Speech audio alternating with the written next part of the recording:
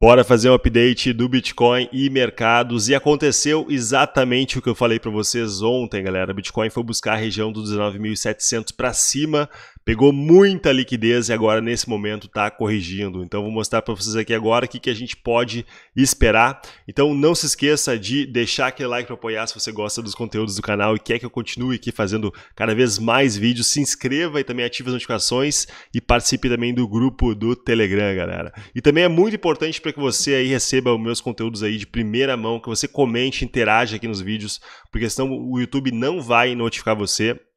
Então, faz favor aí, comente o que você está achando do mercado, o que você gostou mais da análise, o que você não gostou para mim, aí o feedback de vocês, as críticas são extremamente importantes, tá bom?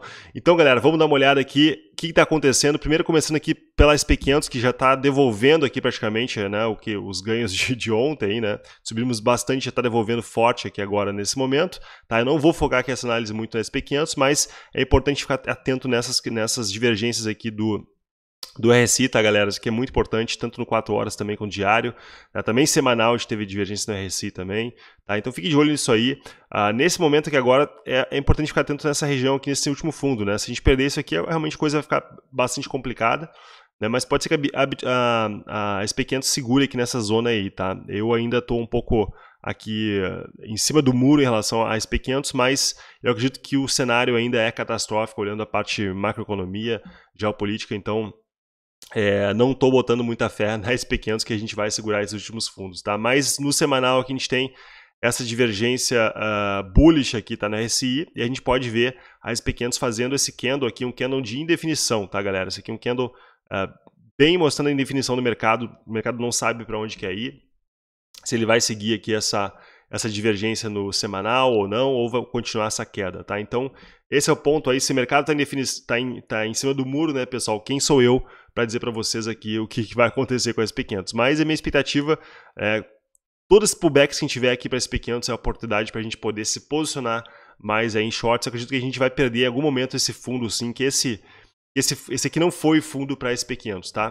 Posso estar errado, mas essa aqui é a minha, minha percepção aí do mercado. O DXY tá pegando força aqui agora, parece que vai querer fazer esse pivôzinho de alta aqui, tá? Então esse é o ponto principal, fiquem de olho aí, se a gente fizer esse pivô de alta aqui para SP500, galera, a gente pode fazer uma projeção muito rápida aqui, seria mais ou menos isso aqui na minha opinião, a gente poderia buscar esse alvo aí, o, uh, o índice bater a região de 118 aqui mais ou menos, tá? Não sei se tem algum topo até inclusive nessa região, deixa eu dar, puxar o gráfico aqui do semanal, 118, 118, seria bem próximo desses topinhos aqui, ó, tá?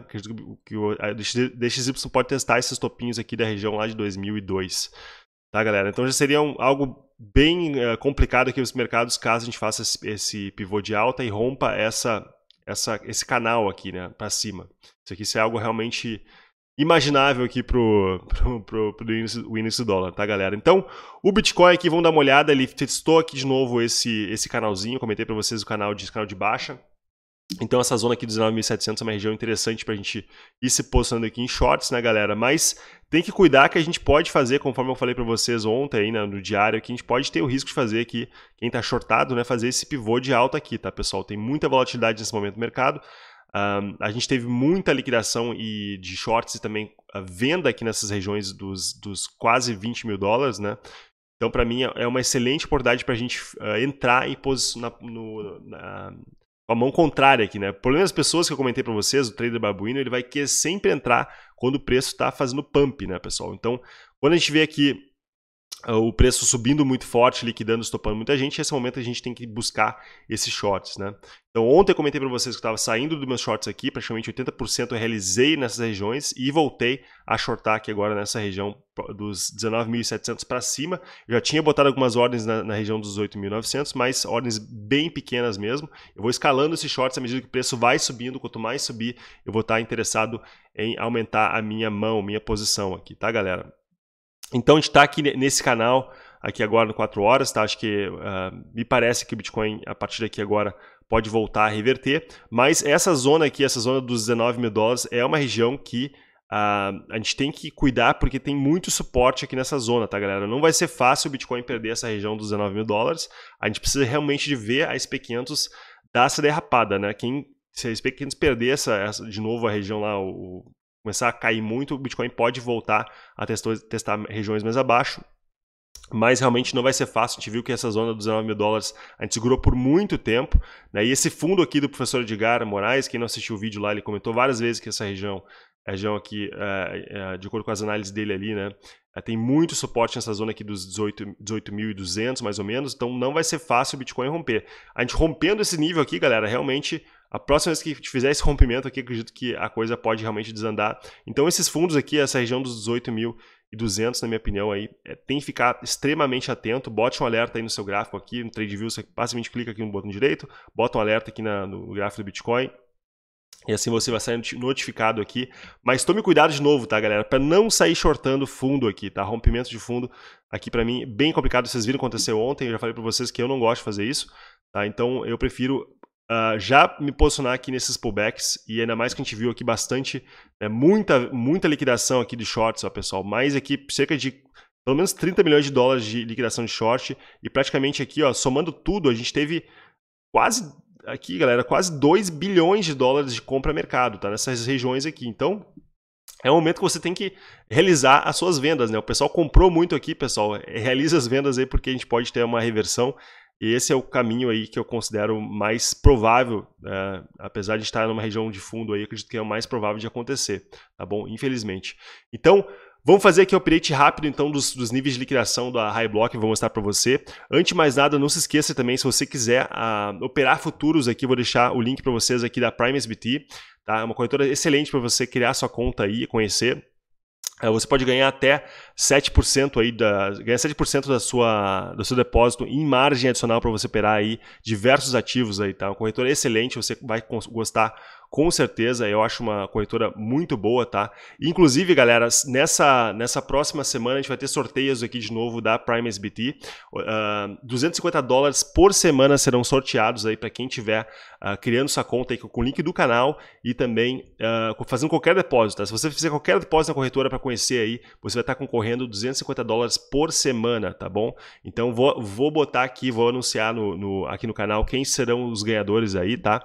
É, essa aqui é uma, uma, uma iniciativa da Prime SBT aqui de poder uh, tra trazer mais traders do Brasil para conhecer a corretora, porque não é uma corretora muito divulgada aqui e eu acho o, o trabalho deles muito bom muito bons aí, tá? Inclusive tem um canal de conteúdos aí no, no, aqui no YouTube, tá? Tem o um canal da Prime SBT que tem um trader lá, Dirk Hartig, que eu inclusive já entrevistei aqui no meu canal. Vou deixar o link aqui em cima para quem quiser conhecer o Dirk Hartig, que é um trader profissional que faz conteúdos também para Prime XBT, tá bom, galera? Então, pessoal, basicamente o que eu tenho para vocês aqui, vamos puxar aqui agora, né, antes de finalizar o vídeo, aqui os pools de liquidação da Highblock, extremamente importante. Primeiro aqui da BitMEX, pessoal, tá? Então a gente formou a liquidez aqui abaixo, nessas zonas aqui dos 18.600 para baixo, até a região dos, dos 15 mil e 17.500, tá? Temos, temos liquidez aqui formando, formada. Infelizmente não estou conseguindo puxar os valores aqui do lado, tá? Não sei por que dá esse, esse bug aqui na, no, no, no gráfico do High Block. E aqui olhando 12 horas não temos muita novidade, mas tem aqui liquidez nessa zona aqui dos 19.100 de novo, tá? Então é o que eu estou vendo aqui agora, dando um zoom. Tem mais aqui dessa região dos 19.100 aqui. Tá? E se a gente puxar os 7 dias, a gente pode ver exatamente o que eu falei para vocês ontem, galera. Ó, olha só acontecendo. Ó. Impressionante. Bitcoin sobe aqui, pega a liquidez, estopa, liquida todo mundo aqui e agora começa a devolver, tá? Então é impressionante essa ferramenta. Você não quer operar no escuro, cara. Pegue essa ferramenta aqui que você vai ter um pouco de noção do que está acontecendo aí no mercado, porque realmente pra, eu acho isso aqui incrível, por isso que eu sou fã do trabalho do pessoal da Reblock. Semana que vem eu vou fazer mais uma reunião com eles e estou sempre uh, trocando ideias, sabe, tentando entender updates que estão fazendo na ferramenta deles. Inclusive, eles vão ter uma API agora aqui, tá? Pelo que eu vi, vai sair uma API. Vou até clicar aqui para mostrar para vocês. Em breve vai ter uma API deles aí. Eu acho que vai ser interessante até para poder trabalhar algum robozinho, alguma coisa assim, tá? Acho que é algo muito legal que eu estou extremamente interessado, tá? Vamos olhar aqui também o de um mês. No mês, galera, que eu falei para vocês, ó, a região dos 21 mil dólares de acordo com, essa, com a ferramenta que está mostrando que tem bastante liquidez nos 21 mil dólares. E depois lá abaixo aqui na região dos 15.500, tá? Então tô ainda, né, é, interessado em me posicionar em shorts à medida que o preço vai subindo, vou me posicionando mais em shorts. Uh, ainda mais quando tiver liquidação aí de, desses shorts e, e bastante uh, compra mercado. E vou estar interessado em realizar nessas regiões até a região dos 15.500 dólares, que é também os níveis do CPR mensal que eu mostrei para vocês no último vídeo, tá? Então, o CPR mensal aqui, a gente puxar de novo esse indicador que eu gosto muito e vários traders profissionais usam, ó.